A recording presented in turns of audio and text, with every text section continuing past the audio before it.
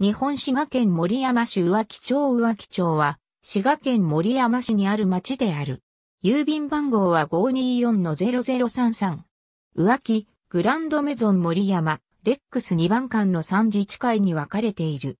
宇脇とも読める鎮地名、難読地名として有名。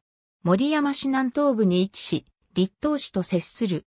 北で吉見、北東で岡町、南東で立東市でには、南で仙台町、南西で勝部町、西で勝部、北西で梅田町と隣接する。JR 森山駅に近いことから、近年高層マンションが建てられ人口が増加している。安川の伏流水が湧き出す土地で、森山川、美戸津川、12号用水の水源地であり、古くから源氏ボタルの生息地として知られる。現在も集落内には水路が巡り、針魚の保全活動や鯉の飼育も行われている。元は安川沿いの湿地帯で、安川の堆積度から良質な粘土が得られたため、1918年から1971年まで甲州レンガが創業していた。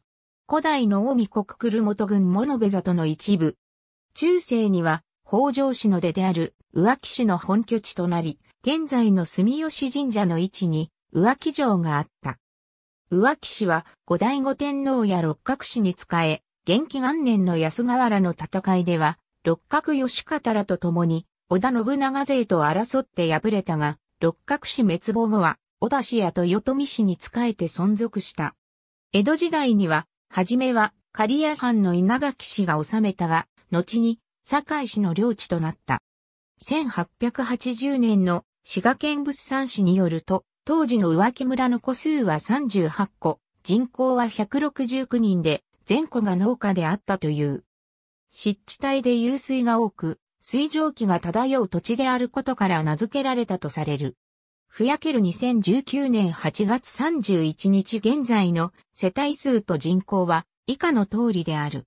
国勢調査による人口の推移。国勢調査による世帯数の推移。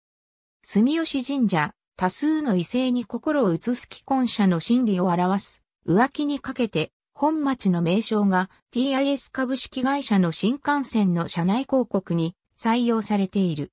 TIS、単身赴任で浮気町に住むのは、ありがとうございます。